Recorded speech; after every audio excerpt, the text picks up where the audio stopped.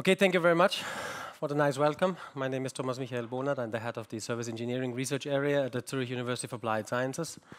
Um, for me, it's a great pleasure to be here the third time, meanwhile. Um, I was here practically three years ago with Andy over here. Uh, at that time, we were just about to found our research group, and we had exactly like two or three members. So today, uh, basically, I'm here with guys. Can you quickly get up? Okay, so that gives you a rough idea how cloud computing has evolved in Switzerland. So obviously we were able to gain some funding because it's a relevant topic. Uh, and by that, of course, also build a little bit more of a workforce. And all these guys are here with me. The slides that I'm presenting here is a bit, a bit of a reflection on, on cloud computing over the last, our experiences in the last three years. Um, what we saw coming, what we believe is relevant, what not, some, let's say, uh, general judgments about that. Uh, and there's also a number of links uh, referring to topics which we are addressing currently in our research lab, and then later which you will get either in other presentations from my team or also from other uh, presenters, and also which you can then see live if you're interested in, in the, de the demo sections during the breaks. Okay, so I really would like to recommend to you that um, you take the opportunity not only to listen to the talks while we are presenting here, but also take the opportunity to uh, approach the presenters at the, I think they are down in this, in this area over there where the lunch break is and everything, uh, where people will stay with laptops and whatever um, and show you that the, the, our developments really live, if they arrive to be here in time. Because the problem that we have is they were already supposed to be here, but there was a big traffic jam right ahead of Bern and they are still stuck in it. Okay, I got 30 minutes. Do I still get 30 minutes? Maybe 25. All right. So I got 25 minutes um, and 19 slides, so it should be doable. Um, and what I'm, of course, uh, what, what, my idea was is quickly to reflect a little bit. I cannot go deep in any particular technology. There's also no point for me to do so because there will be lots of speakers and lots of real experts in the room who will do that for the rest of the day. But I thought it's worth now to have a look back and also maybe a little bit in the look into the future about where we came from and where we are today. All right? So the aim is to reflect on the past and try to understand what drives the future, of course, in the context of cloud computing, a little bit also in the context of Switzerland, obviously, because many of the learnings that we are presenting today are learnings that we basically got from interacting with people like you in our research projects, with customers, with communities, CH Open, SI, and so forth. So, the title was After the Hype, so let's start with the hype. Um, from my personal perspective, the best blessing ever was big data. I guess it's very uncommon to start a cloud computing talk with a big data reference, but let's face it, since big data is there, cloud computing has cooled down in terms of marketing. So I spent at least the first one or two years when I started the lab with simply telling people what cloud computing is not. Why? Because all the marketing departments from all the companies, they jumped on that topic and all of a sudden, everything that was not running on your computer was cloud computing. Right? That's bullshit. If we accept such a definition, then Hotmail 20 years ago was cloud computing. It was not running on my computer, right? So practically, it took a while until, so to say, the, yeah, the dust had settled and people started to accept what cloud computing is and what not, and people understood what is just being resold to them as cloud computing. But the real breakthrough with that came when people started to bring big data up. Because now all the marketing departments are trying to redefine their products to be big data products. So the focus has gone away from cloud computing, and now we can basically proceed with doing the real cool things based on really accepted definitions.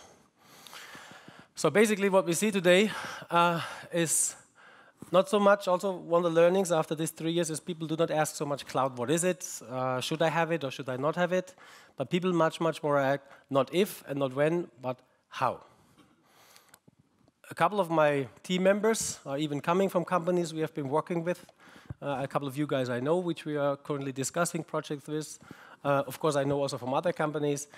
Nowadays, what we see is people say, okay, cloud computing, we understand we understand what it is, we understand what it not is. We see a value, right, um, compared to virtualization, which is a different thing, what we did before.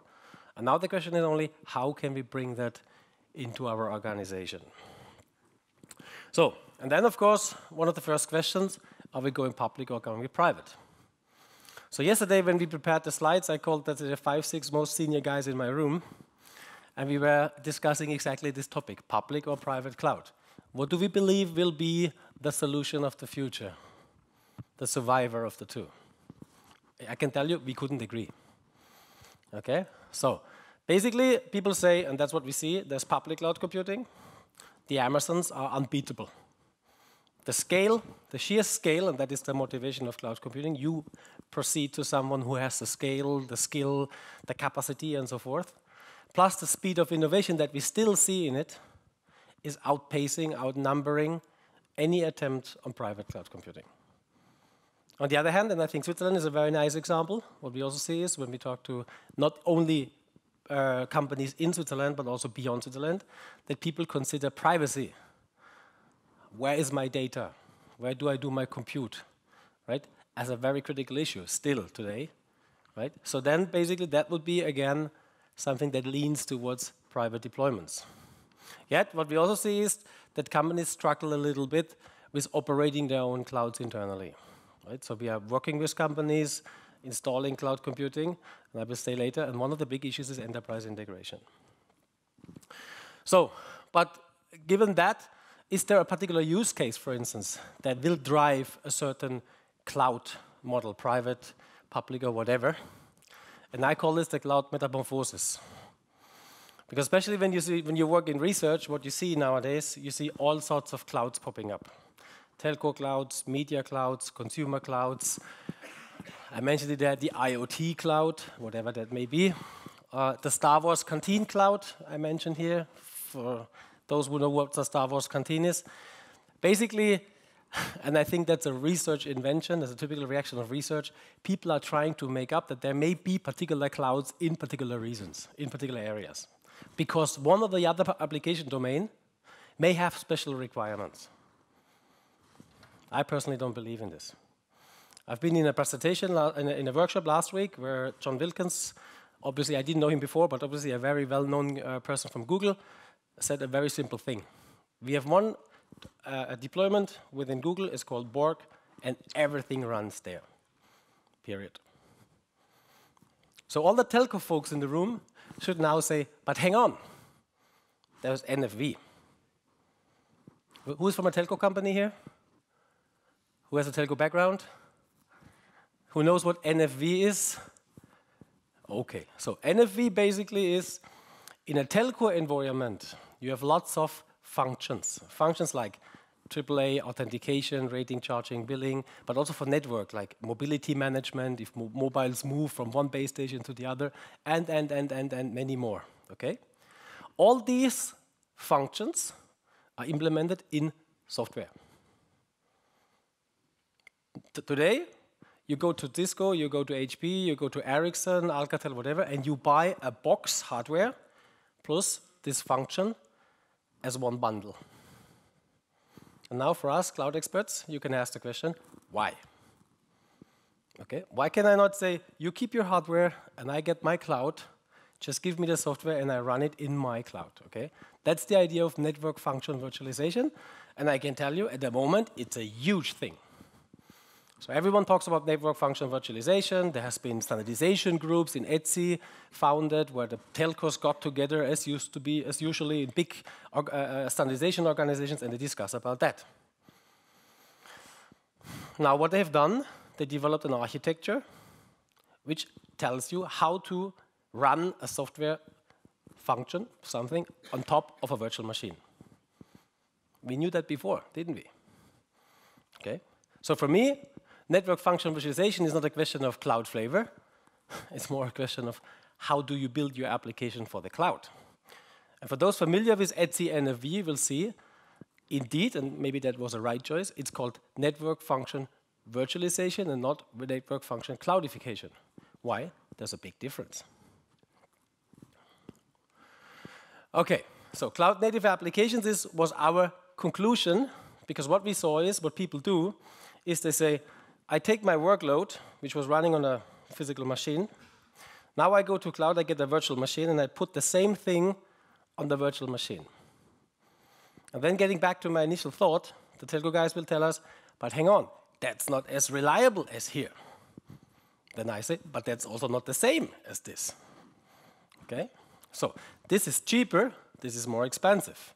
This is bundled, this is unbundled. So if you want to get the same on a different underpinning, maybe you have to rethink your software architecture. This is what we call in the lab cloud native applications, and the guys are here, and you will get a chance to talk to them in the demo sessions. What cloud native applications for us is, is you have to design your application for failures. That's the principle that Netflix taught us. And again, it was a blessing for me last week to, to meet John Wilkes. What he says is, we built this big Borg infrastructure within Google, and we tell the developers there's only one requirement that we fulfill. Everything can, be, everything can disappear at any time without notice. So make sure your software survives. Full stop. This is designing applications for the cloud. And that's the only way. If you accept that you go away from purpose-built, super highly reliable hardware to off-the-shelf, cheaper deployment models. So keep in mind cloud-native applications. Okay, cloud-based applications as a design principle, and you will see presentations today. Nowadays, people, what they say is, that's microservices. I take the state out, I take lots of small services, I distribute them across multiple virtual machines, and then if one of the virtual machine dies, I have failover mechanisms, and my application continues because in some, all these services, there's still enough context running, so not a big issue. Okay, so conclusion, microservice is a design principle, software design principle for building cloud-native applications. Okay, another buzzword. Sounds somehow familiar. Service orientation. I was working for SAP some 10 years ago was the big thing. Now we say microservice orientation. Okay, but basically it's still the same thing. The big difference is that um, microservices are not necessarily for building super reliant cloud applications. The original purpose is scalable development process. So microservices, yes. Uh, is this an architectural pattern for, for cloud? Also yes, but not necessarily. Okay. Well, and of course, and now we get to the next point, which I believe is a much, much more important one, is if you agree on the fact you have to build for failures, that your application has to be distributed, you have many, many pieces which you run, let's say redundantly on many services, you need orchestration. And that's really indeed a, a topic which we see uh, currently in research as well as in companies, small, big, whatever, being one of the dominant elements which we currently discuss with companies, well, in general, in, the, in, these different areas. Why? Configuration is, uh, uh, orchestration is what you really need in order to achieve what cloud computing really promises you, automation, right? Less human interaction, but uh, intervention, but that less cost, ultimately. Cloud is a economic value proposition, nothing else. Uh, and then in particular, in such complex uh, service-oriented applications, you need that. But it's not only orchestration. You can orchestrate your services for a particular tenant. The lesson that we have learned, the more complex issue is the configuration afterwards, because you have maybe multiple tenants running in your cloud with multiple distributed applications, which all need to be contextualized. So current topics, exactly orchestration together with configuration, but also a new thing that, that we see coming is placement. Where exactly do you place your virtual machines? Now you can say that's a bit against the idea of cloud computing. Well, now people say, but I may also have delay, with my applications, we have delay requirements, so I want to be cloud, uh, close to my customers. And there's a concept popping up of micro data centers and macro data centers, where it makes indeed sense to say, I want to have this, the, the front end of an application, for instance, closer to my end users. All right. Here, of course, the question is, who then decides about the placement? Is it the customer who knows the application? Or is it the infrastructure as a service provider who knows the infrastructure? Still uh, something under heavy debate these days.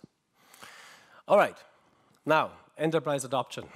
Something we as an applied university, research institution, of course, are very concerned with. So we are not only there to write nice papers and then publish and get whatever, more grades and more grades, but From the very beginning, we had a very applied approach. You will see that. We have a very strong open source uh, attempt to really publish our products. We even call them products. But the question is, do companies really adopt that stuff? Again, the question is much, much less nowadays, do we go, should we go for cloud? Like two years ago, we still had to convince companies like, come on guys, look, it's good, it makes it cheaper, it, it's more flexible, self-service is a cool thing, uh, pay as you go also, maybe, okay. Um, but then companies said, okay, we buy into it, but now how do we get our applications there? And to be, to admitted, we were surprised a year ago when companies told us, okay, fair enough, let's do it. But how do we get our applications there? We didn't have an answer. We were too focused on the cloud itself. And that was the genesis of this cloud native application, uh, cloud native applications research initiative. What we also learned is that the biggest challenge in bringing cloud computing is the integration into the processes.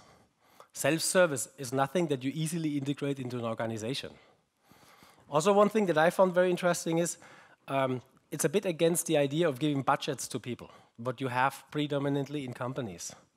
Because basically what you had before, you had a budget, a procurement process, and a very, let's say, well-defined way of controlling how you spend your money over the year. Now what you say is you go to your engineer and say, here's the credit card, and get as much resources you need it's a bit against the idea of a CFO or whatever, a manager who has to spend a certain budget or has to keep a certain budget.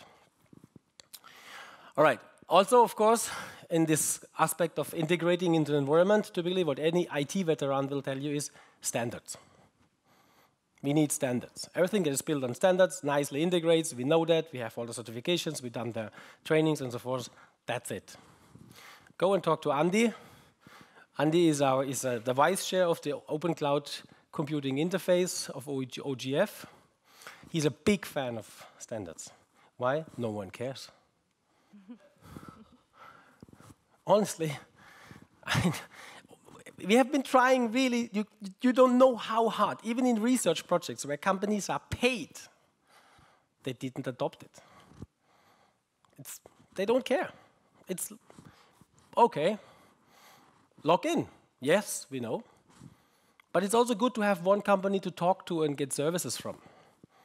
Much, much less an issue than we thought from the beginning. Much less.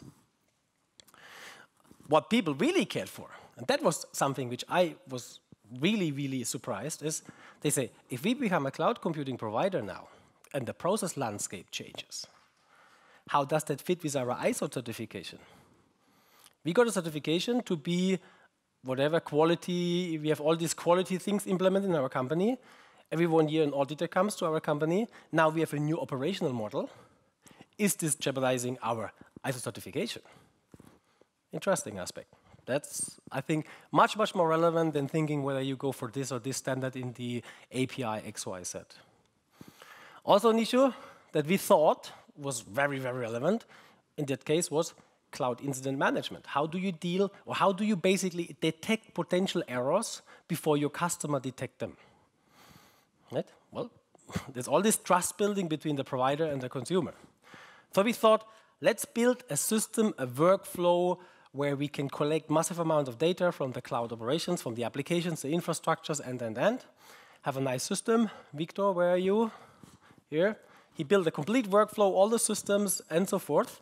And then we made an industry workshop just to learn that people already do that. Okay, so again, we have a complete system built because we believe it's important. Interesting enough, people are already pretty much advanced in this area. Now, cloud computing for operators. There's a few operators in the room, or at least people who may consider to become a cloud computing provider. How to make money. Again, I came from SAP. One thing I saw in SAP, the last thing which I saw is that they made a hell of a money with rating, charging, billing. Billing is something SAP is strong since ever, and I guess at least a few in the room may have had at least some experience with SAP billing systems, financial settlement, and so forth. What SAP was not very strong was in the rating, so the connection to the actual system who generates the EDR. And they bought a company a year before I left SAP, and I saw that, and I thought, that's an interesting area. I got Piyush, which has a PhD from the University of Florida and an academic track record as long as you cannot believe, I had to force him to work on the topic. Because rating, charging, billing is, from an academic perspective, so unsexy you cannot imagine. He told me, I cannot publish a single paper in this area. No one will care. That's just engineering. Today he loves it. Why? It became our killer app. It's not part of OpenStack, it's not part of CloudStack, it's not part of whatever. It fills a gap, it's something really needed. You don't, if you want to become a cloud provider, you don't want to do cloud like Excel sheet-based accounting, right? And it's an area where you can have really, really cool innovations. In particular, if you offer that as a provider, as a value-added service to your customers, because they need to build their customers also. So rating, charging, billing, we call it Cyclops. There will be presentation. Piyush will give you all the details. Today has become for us the biggest success together with orchestration uh, in the lab. Okay, talking about success, we should also talk maybe about something which we are not so sure. We also thought we are academics that energy efficiency will be a super important topic. If you look, you will find data centers in Switzerland which tell we are the most green, not, I don't mean the company, yeah? where is it? okay, okay, but also I think green also is energy efficient, of course. But there's also data center providers who say we are the most energy efficient data centers. We get the cooling out of a lake next door, and I don't know, we will melt the snow on the, I don't know what, okay? Just to stay cool, basically. So we thought, okay, look, if energy efficiency is so important and you run the cloud on top of the physical infrastructure, if you could develop mechanisms which you can consolidate workload and then switch off a number of servers which you don't need and you save money, power slash money, it will be an important thing. So we went with that idea to Equinix and told them, you have to have that. And they told us why. And then we told them, because of this. And the guy replied, we are a real estate agency. I say, what? I say, a real estate agency we sell rooms. And of course, the heating of the room, but our customers buy that. And we will never, ever touch the workload of a customer. So if the cloud sits in a co-location center, and you have some super smart algorithm that allows you to manage your virtual machines in a way that you save energy, and you sit in a colo, the colo won't care. Because the benefit is too low, and ultimately, the customers pay. So we, de we developed a whole system again in our research lab for that. Uh, you will get a demo. Bruno is here, right? So we still believe in it. Um, there are regulations coming, especially from the European Commission, which require data center operators, and I guess there are a few in the room maybe, to be energy efficient. I think it's an important area, but still it's not high enough at the priority list of the data center operators. Okay. All right, so I got five more minutes, I think, right, roughly? Yeah, two more minutes. Okay, so a little bit of an outlook um, to things that we believed are important a few years, uh, let's say a few years ago, and what happened to them, and also things that we now believe to be important for the future. Cloud brokers. Okay, was at that time when I came up, all these cloud providers came up, also the smaller ones, Unfortunately, in Switzerland, we have seen that the smaller ones are having a hard time. Um, CloudLinx is a popular example who ceased operations for the moment, at least. I know at least from one more company which is struggling at the moment, uh, setting it up, finding investors, because the infrastructure as a service business is maybe already a little bit dominated by the, the Googles and the Amazons and so forth. Um, so, but at that time, we still saw all these small cloud islands, and then, of course, cloud brokers was a very natural extension to that idea, okay? What we see today, two years later, three years later, no wide significant uptake. What happened to federation, which is an element in this? I can tell you, we had a very intense argumentation yesterday, Giovanni, Andy, Christoph, and myself. Is federation an important issue? We couldn't agree. I say no the guys say yes in particular cases. So you can see. Indeed, if you federate the level of IAM, maybe there may be a case. I personally believe federation only makes sense if you federate also at the level of the resources. But that's my particular view. So not very conclusive, conclusive here. What about software-defined networking? So it's a bit of a, let's say, attached area to cloud computing. I thought two years, three years ago, uh, it's a very important area because software-defined networking is a new way of running your network and you need control over your domain to really bring it into it.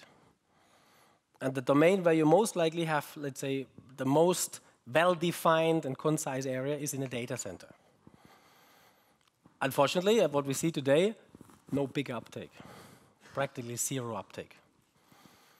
Cloud, so as software-defined networking more becomes a configuration than a programming vehicle.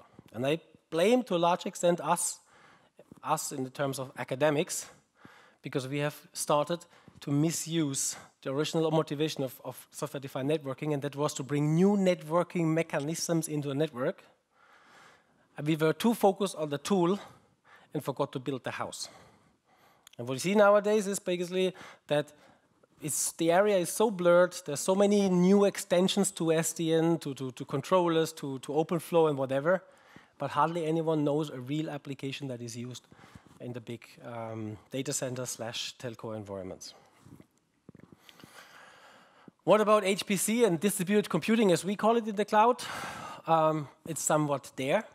We started this a year ago, two years ago. We made a, a, big workshop in our university with all the data processing guys.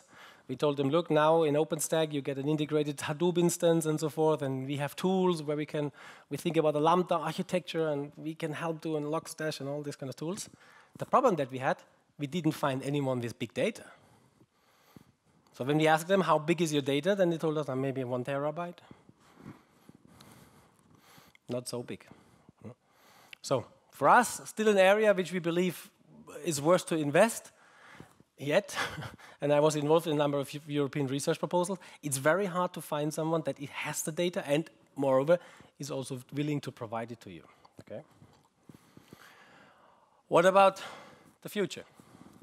One topic that we identified, so you saw these were topics that we thought in the past. Some were, let's say, not successful, some were successful. Some mm, we still invest, some we are rather de-investing.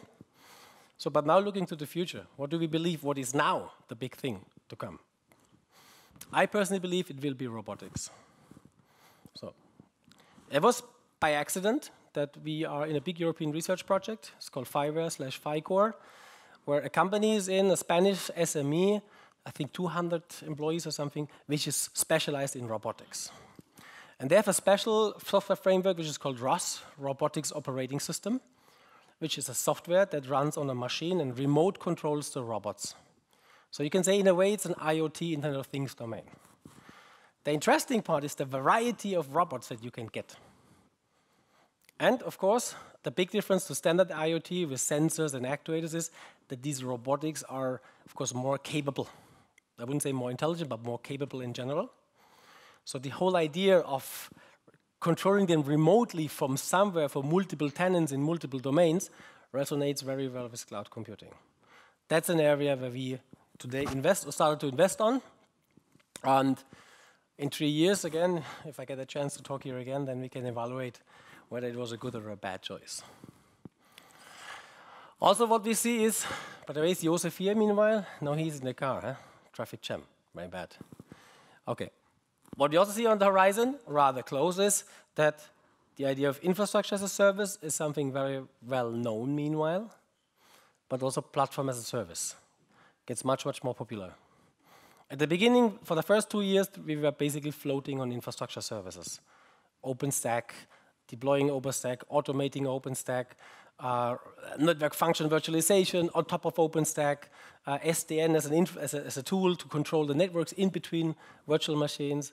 Um, but now, and I think there's a guy from Toko here. Where is it? Exactly. Where we also learned something. If you really think, if you're a company who does software, and initially you think about going to the cloud with an infrastructure as a service model, as soon as you talk to your developers, they will say, why do we not go to the platform as a service? So platform as a service for us at the moment is something which really uh, has gained much, much more attention than still two, three years ago. And Christoph is our head of this area. He can tell you, let's say, all his experiences in the break. Christoph, can you raise your arm? Okay. He's been working on this for the last three years, and he can tell you all the details um, and so forth.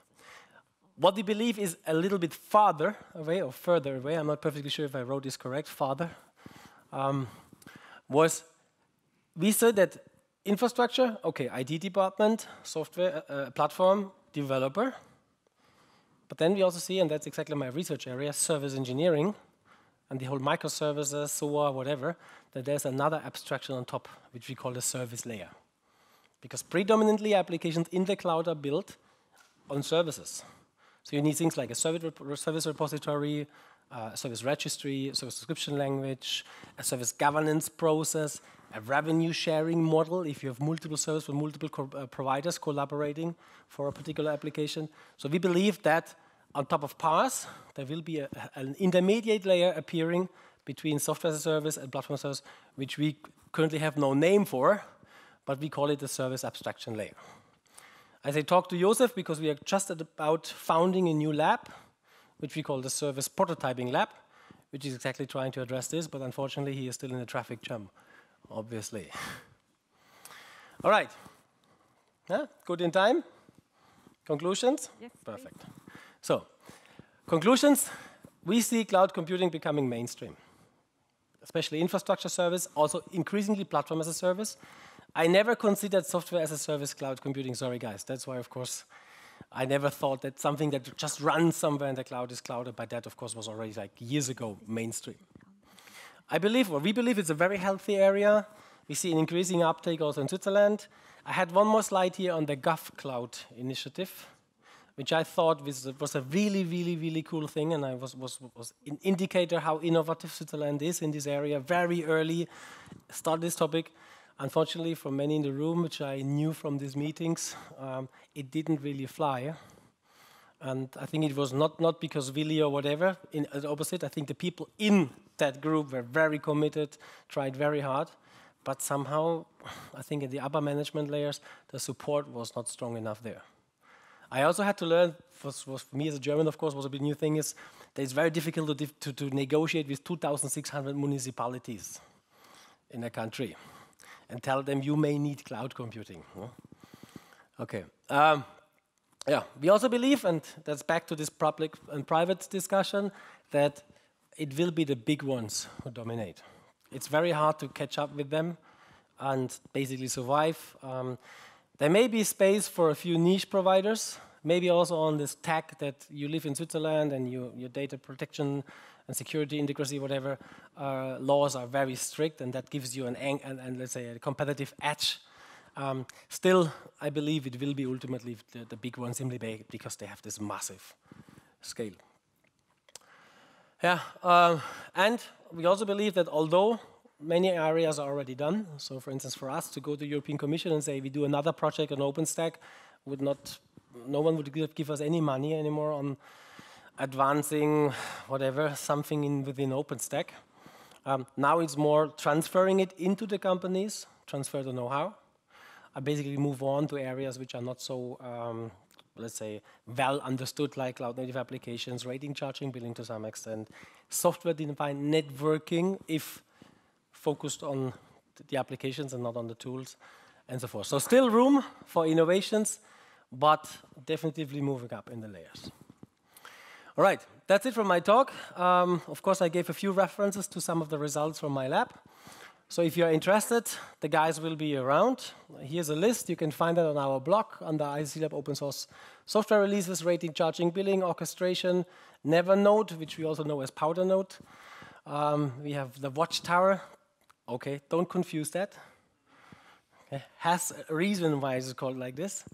Um, then the edge monitoring tool, which I told you, the Cloud Native Application Seed project, and also a monitoring solution for OpenStack.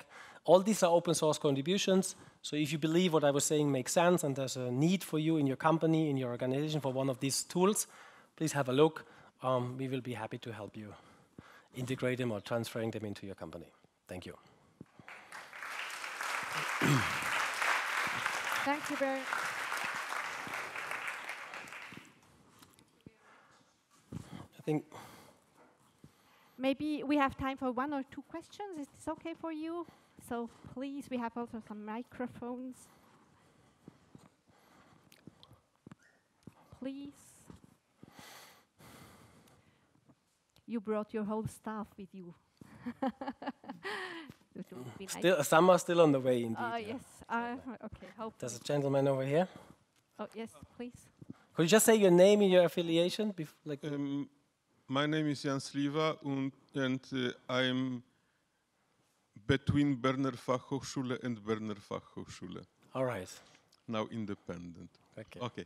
Uh, you said about this programming for failure, and what about uh, you know for applications that uh, so probably you will deliver all results uh, sooner or later, but what about the applications that need some predictive uh, uh, reaction times?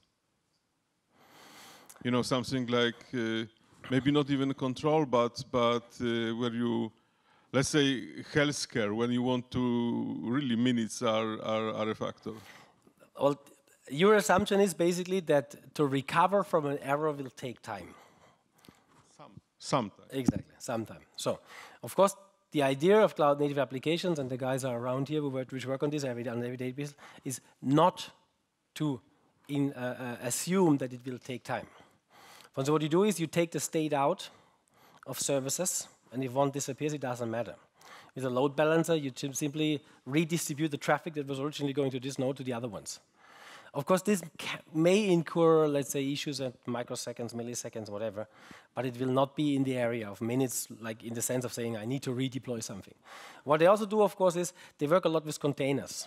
I had a slide on containers. I removed it because there's Sebastian Gosgar coming. Is he here already? No. He will give a presentation on containers, and uh, there's no point for me kind of like talking about the technical quality or, or merit of, of containers. One big advantage of containers is that they are much, much, much faster in deploying. Right? And exactly for this, if you have a, a distributed applications of services and one service shuts down for whatever reason, redeploying it based on containers is much faster. So that is going in this uh, direction, okay? Thank you very much.